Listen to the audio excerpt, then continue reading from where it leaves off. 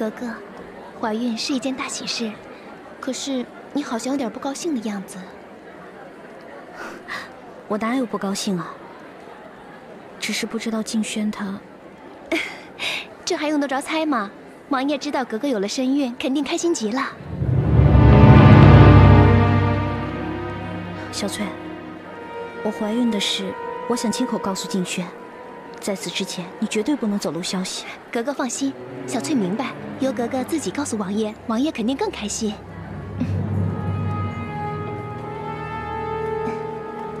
慢点。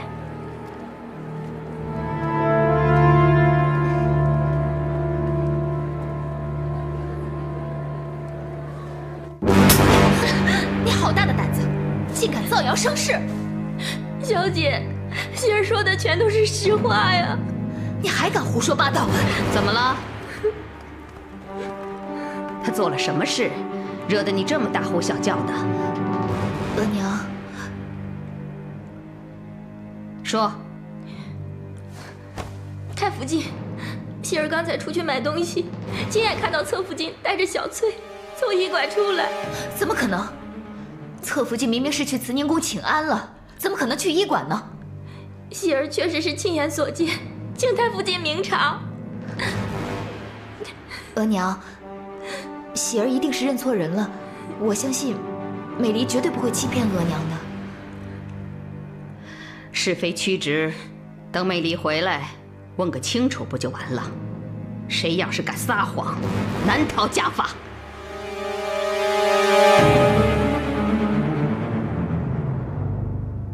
说实话，去没去医馆？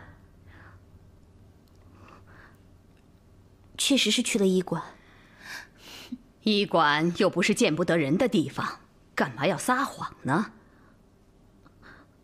最近身体不适，说出来又怕王爷和额娘担心，所以就先找了间民间医馆先看一看，没想到引起误会。还要骗我吗？美丽不敢。身体不适可以传太医。除非你有什么不可告人之事，才会私自看医生。还是不说？我家法伺候，千万打不得呀！太福晋，侧福晋有身孕了。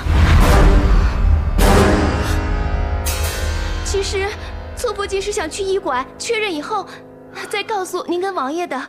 真的没有别的意思。哎呦，快快快，快起来，别跪着了。来，坐下，坐下。怀了身孕，怎么不告诉我呢？三个月是保胎的时候，一定不能随便走动，知道吗？美丽知道。美丽，你也真是的，这是好事儿，干嘛要隐瞒啊？幸亏小翠及时说出来，要不然这动了胎气可怎么了得呀？是啊，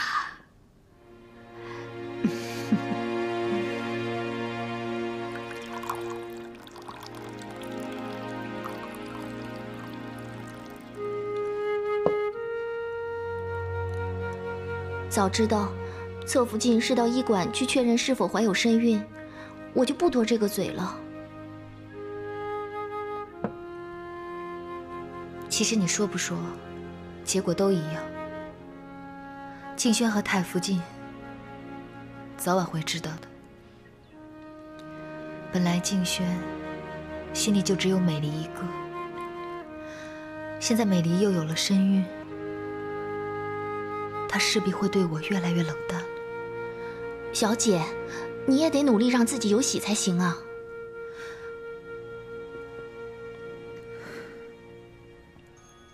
要是静轩为了照顾美离不肯与我同房，恐怕我永远都怀不了他的孩子。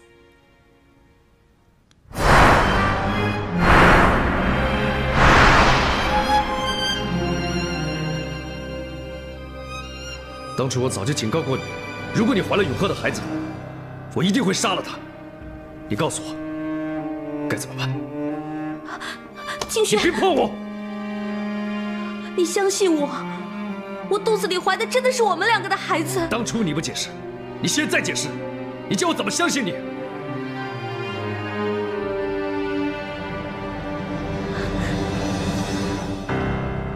既然你心存定见，我也无话可说。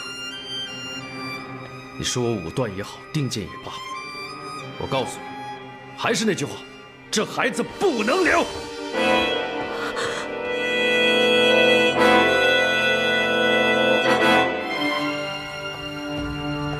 王爷吉祥。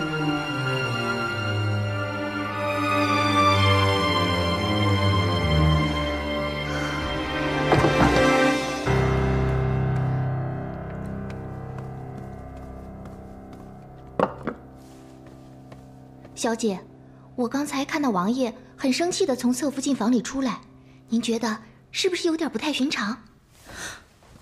这怎么会呢？静轩听见美离怀孕的消息，应该高兴才是，他怎么能跟他生气呢？是啊，我也觉得纳闷呢。难道静轩发现美离怀孕是假的？他只是借怀孕之事圆个谎？小姐说的没错，如果侧福晋是真的怀孕了，那又何必这么遮遮掩掩的呢？要是我们能够找到他说谎的证据，那么到时，就算静轩包庇他，太福晋也绝对不会饶了他。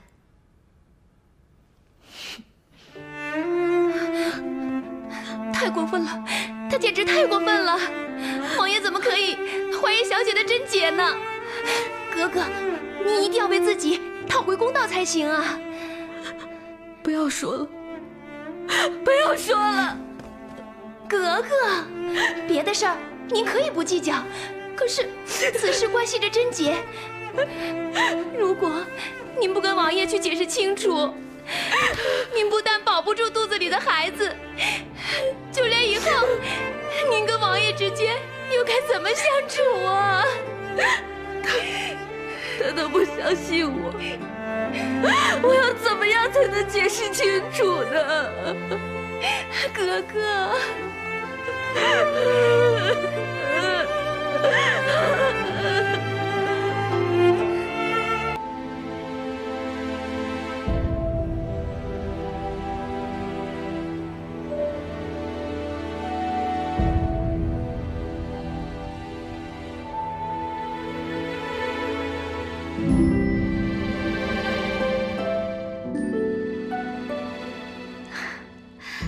还是你想的周到啊！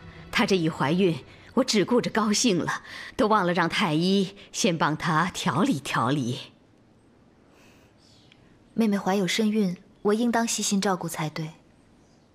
哎太傅金大可安心，侧福晋喜脉正常，以后多加检查，定能平安生产。好，这样好，这样好。太医啊，从脉象上，能否看出是男是女？呃您可难倒下官了。现在时间又短，太傅晋预知结果如何，还要等一段时间才能判断准确。好了，下去吧。哎，是。